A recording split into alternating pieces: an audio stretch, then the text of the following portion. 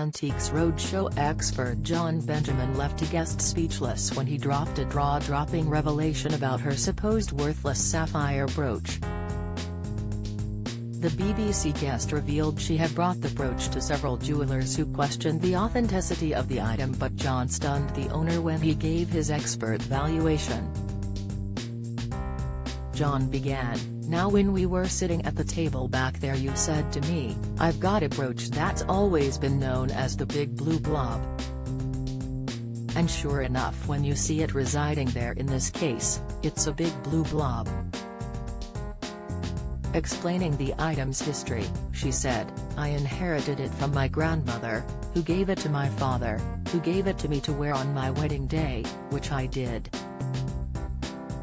Well the brooch itself was made about the mid to the end of the 19th century so it is about 130, 140 years old, John continued. Read more, the style of it is actually quite ordinary.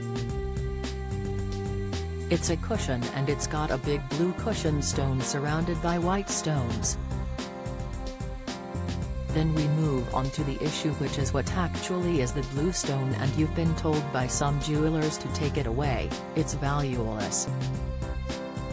She revealed, it's costume jewelry, they didn't believe us. They were quite rude to me and my husband. Some people said it was paste, some people said they weren't real diamonds, some people said they were real diamonds but they weren't good quality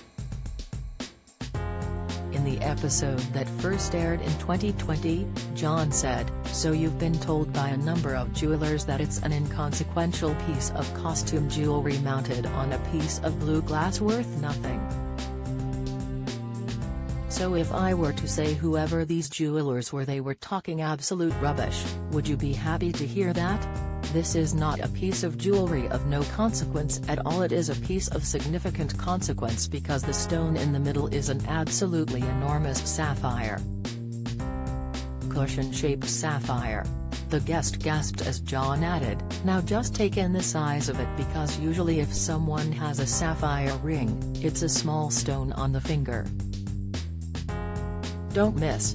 Antiques Roadshow guest wowed by value of brooch she feared was fake. Watch, Noodle the Cat's identity worked out by BGT fans as ex-finalist, Theory, Britain's Got Talent fans rage at absolute nonsense of CGI cat, reaction, but that sapphire, I've done an approximation of the weight of it and I think it weighs 25 to 30 carat.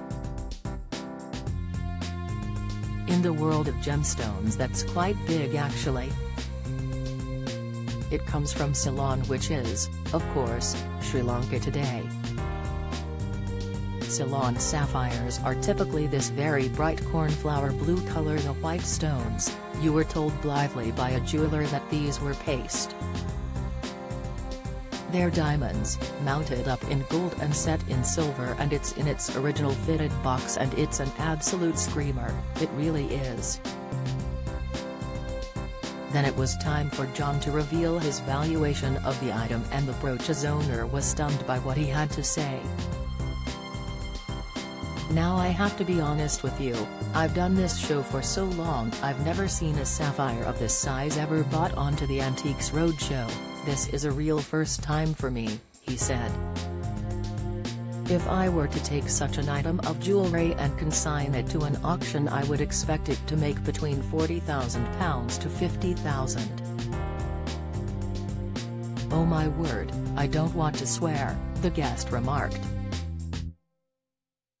Blooming heck. Blooming heck indeed, it's an absolute beauty. What else can I say about it? It's fabulous, John added. Antiques Roadshow is available to watch on BBC iPlayer.